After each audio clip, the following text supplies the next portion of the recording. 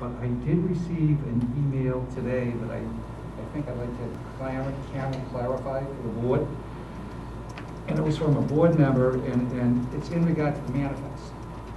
And there seems to be some confusion about what the manifest is, and I would like to correct it in the public record. And the email says, um, the final detail was that this is the first agenda I have ever seen that has review of the manifest without the manifest attached for review. We usually get our packets, the latest by Friday, most of them electronically by Thursdays, which gives up to five days to review the package, including the manifest, so we can sign off on the manifest. Since the manifest comes from the superintendent's office, then the superintendent is responsible for not providing the manifest data to the board in accordance with policy BEDB. That, and then it quotes policy BEDB. And I think it's really important since that's out there, and I will not respond to emails like this through email. I just think it's not taking the high road. It's an inaccurate uh, email, and I'd like Karen to just remind the board how the manifest is distributed. Typically, the manifest is brought to a board meeting, the cover sheet, um, once the board member has come to our office to review all of the bills. So the manifest is actually the pile of bills that we pay for the two-week period prior to the board meeting. Um, That has never been included in the packet. What is included in the packet sometimes under that heading would be an expenditure report, but again, that's only included at the first meeting of the month, not the second meeting of the month. So there really was nothing missing from the packet. Madam Chair, Yes, Mr. Wisconsin. I'd just like to go on uh, public record to say that I'm actually the person that sent that email. And apparently from uh, Dr. Littlefield's explanation and Karen's explanation that I've made a mistake, and I'd like to apologize to them for making that mistake. Um, I'm always learning, and um, so obviously I've learned something new here, which is good. Um, I was basically surprised by kind of the whole agenda on this meeting from our last Um, if you're um, administering apo- uh, an apology, that's fine, but we're not getting into a discussion about Oh, surprises. no, I was just. I You're just- out of order. No, I'm not out of order. You're out of order. The chair says you're out of order. Oh, okay. That's the right of the chair to say someone is out of order. If you're apologizing for a mistake, that's fine. We're not getting into a debate about the agenda. I was just gonna complete An my. apology without a, with a but is not an apology. Are you There was no but. apologizing to the superintendent and Karen? There was no If not, but. you're out of order. There was no but in my apology. We have a five-minute recess.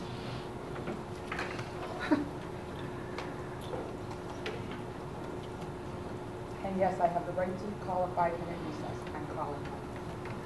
Madam Chair, Yes, Mr. Cohen. Before we move on to the high school business, I would like a little clarification on the rulings of out of order. Um, They seem to be inconsistent, and it seems to be that dissenting opinions are being ruled out of order. Um, And uh, I think it's, it's causing some stress on this board. Could you please speak to why you're, why you're choosing to call people out of order um, when clearly they're not?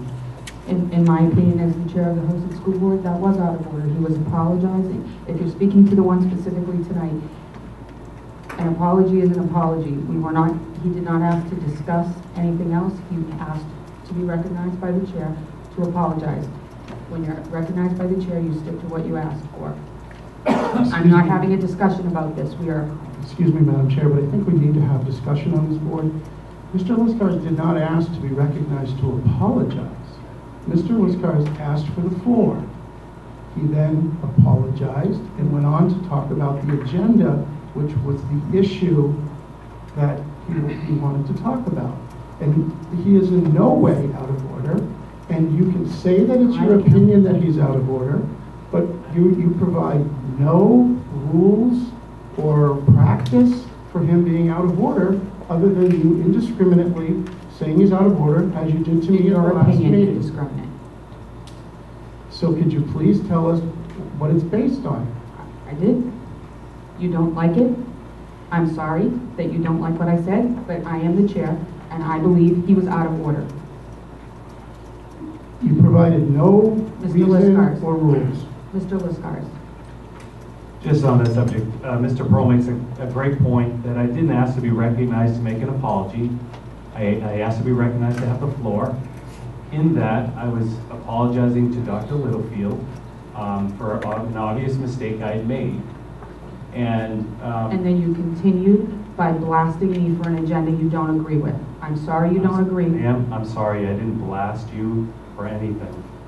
Um, We are here this evening as a Hooksett School Board to discuss our high school issues. Are we going to discuss for 26 minutes that you don't like the agenda?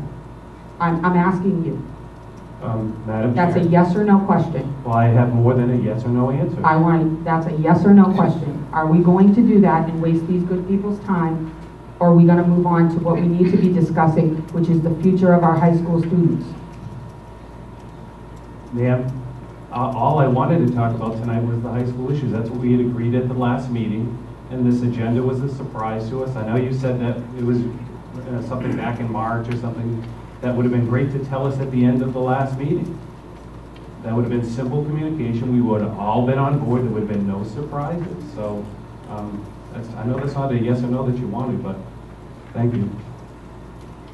Madam Chair, I'd like to go on record saying you're being rude to members of the board. And to, to clarify, at the last meeting, we discussed creating a business meeting here. We discussed that it would be high school-only issues. We discussed to get your agenda items in.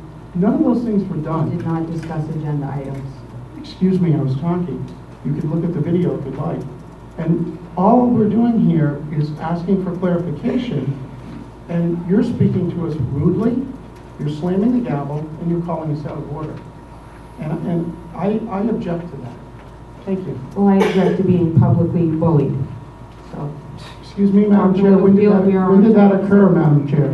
You just said you were publicly bullied. um, Are you talking about me? Obviously. Madam Chair, are you accusing me of bullying? I'd like to know, because we're in a school and bullying is a very serious word. Is that your accusation?